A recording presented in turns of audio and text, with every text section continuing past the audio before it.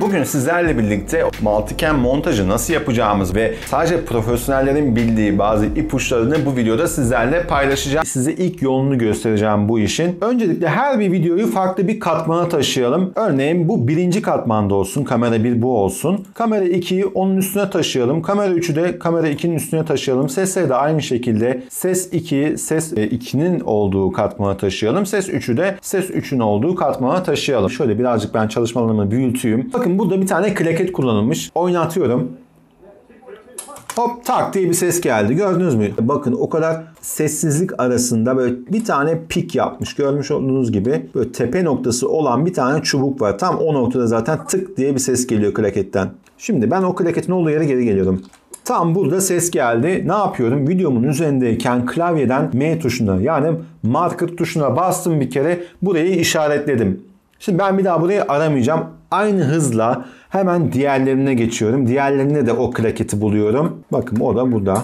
Hop tak diye bir ses geldi. Hemen gidiyorum hızlıca.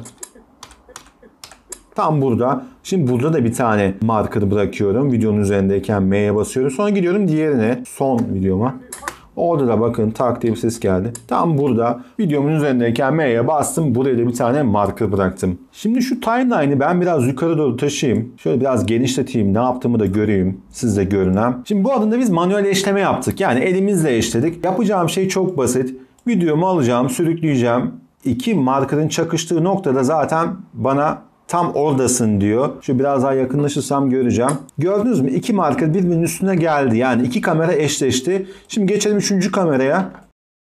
Hemen hızlıca bakıyorum. O da üstte bakın. Şöyle sağa doğru sürüklediğim zaman eşleşmeyi yaptım. Bu videoların hepsini seçiyorum. Arkasından mouse'umla sağ tuş tıklıyorum. Burada Nest diyorum. Buraya da isim veriyorum. Multicam. O da zaten hemen proje paneline gidecek. Bakın burada proje panelinde oluştu. Nest'i oluşturdum. Bu adımda da yine sağ tıklıyorum. Bu grubun içerisinde multi kamerayı enable'a getirdim. Multicam'i geçmek için program penceresine gidiyorum. Bakın üstte. Buradan artı butonuna tıklıyorum. Arkasından multicam'in bir tane ikonu var. Bakın şurada. Bunu sürükleyip burada uygun bir yere bırakıyorum. Sonra OK'ye basıyorum. Şimdi ben bu butona bastığımda kameralar şu an çıktı. Play'e basıp Bakın şimdi klavyemde Size numpad'de olabilir ya da e, yukarıda F'lerin altındaki tuşlar olabilir. Sayılara bastığım zaman örneğin ikinci kameraya geçmek istiyorsam 2'ye basıyorum. Mesela 3'te adam şarkı söylüyor. Sonra birinci kameraya geçip 1'e basmam gerekiyor. 1'e basıyorum. Böyle 1, 2, 3 kaç kameram varsa o da yukarıdaki veya size numpad'de sağdaki soldaki herhangi neredeyse klavyenizde buradaki numerik tuşlara basarak 1, 2, 3, 1, 2, 3 gidebilirsiniz. Sonra space'e bastığınız zaman Gördünüz mü? Burada hepsini yer aldı. Yani burada bütün kamera seçimleri yer aldı. Şimdi mesela buradaki multicam moddan çıkış yaptığım zaman bakın benim az önce yaptığım tercihler burada görünüyor. Şimdi diyelim ki bu kamerayı beğenmedim, açıyı beğenmedim, değiştirmek istiyorum. Ne yapmam lazım? Sağ tuş tıklıyorum. Burada değil tabii şu yeşilin olduğu yerde. Buradan multi kameranın içerisinden yine buradan açıyı değiştirebilirim örneğin. Şimdi burada size bir püf noktası daha göstermek istiyorum. Tekrar artı butona tıklıyorum. Buradaki kırmızı butonu gelip buradaki multicam'in sağına alalım. Bu da şu işe yarıyor. Örneğin diyelim ki ben bu seçimlerin çoğunu yanlış yaptım. Öyle değil mi? Onun için de şöyle yapıyorum. Tekrar multicam moda geçiyorum. Bakın bu zaman o zaman kırmızı buton aktif oldu. Şimdi düzgün bir şekilde yapalım.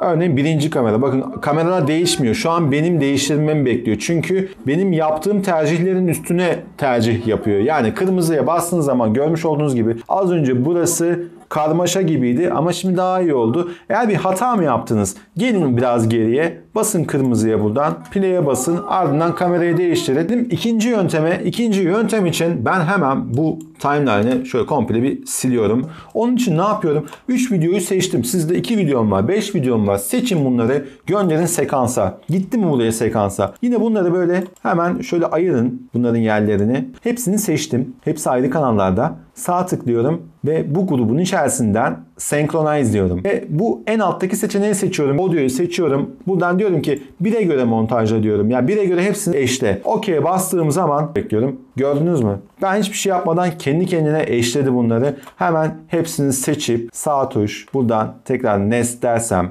ve de bu nest yaptıktan sonra yeşile döndükten sonra multicam'i açarsam ve buradan da bakın bunu aktif hale getiriyorum. Şimdi az önce benim o kadar uğraşıp bu markerları koyduğum video anında senkronlandı. Bir başka videoda daha görüşmek dileğiyle kendinize çok iyi bakın. Hoşçakalın.